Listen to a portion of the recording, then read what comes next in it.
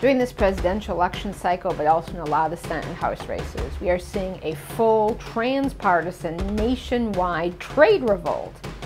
And it's been basically because Bernie Sanders and Donald Trump, to their own audiences, have just said what everyone sort of had as a gut instinct. We've been operating under rigged rules that have only benefits for a handful of the biggest corporations, and all the rest of us have basically been screwed. I'm Lori Wallach, and I direct Public Citizens Global Trade Watch. I guess you could call me a recovering trade attorney. I've been working on every element of trade and globalization for the last 25 plus years. I actually was working on food safety issues back in 1990 when I wandered on this thing called NAFTA that somehow would undermine our food safety, and it's all been history since then. The deal is branded as a trade agreement, but of the 30 chapters, only six of them have anything to do with trade.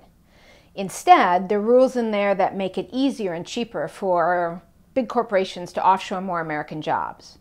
There are new rights for corporations to sue governments in front of three corporate attorneys who are allowed to raid our treasuries and make us pay these corporations unlimited sums if they don't like the domestic laws and think they violate their new investor rights in the TPP. Their limits on imported food safety. their rules that actually waive Buy America and Buy Local, so our tax dollars even get offshored. their rules that undermine the most important climate policies we need to save the planet. their rules in there that undermine internet freedom. And then Big Pharma got in a free trade agreement new monopolies so that they can ban competition and jack up medicine prices. This is the agreement that will let us export our way to nirvana. We're all going to have higher wages. Farmers will get rich.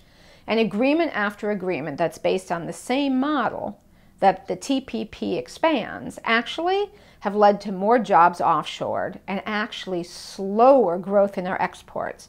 We have an export growth penalty of 30% with the countries we have the FTAs with. Our exports grow 30% slower than our exports to countries we don't have these agreements with.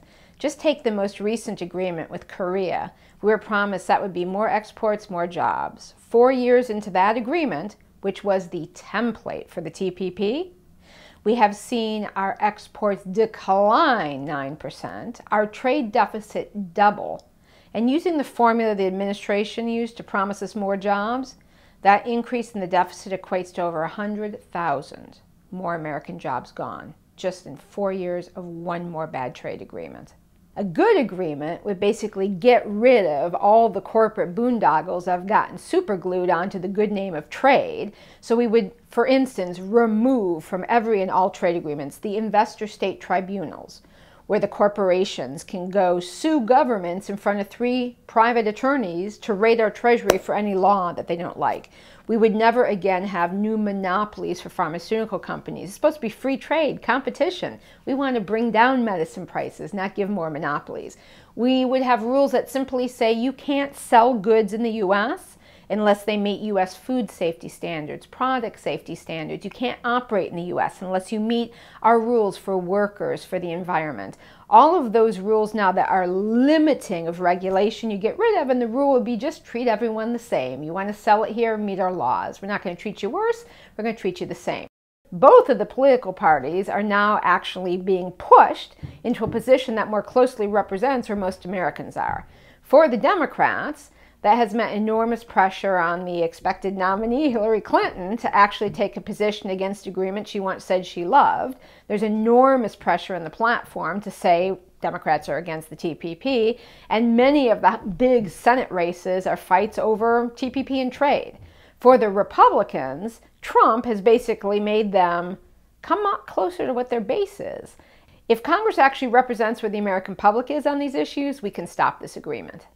For more information on TPP, please come to our website, which is tradewatch.org. That's tradewatch.org.